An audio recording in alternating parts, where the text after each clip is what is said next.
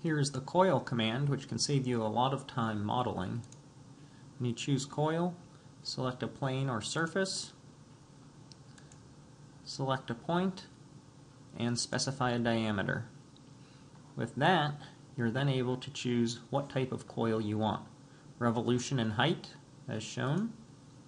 Revolution in pitch, which if we click and drag, you can see the changes height and pitch, which I really like because you can just continue to add coils that way, or spiral, where you can see it spiraling outward.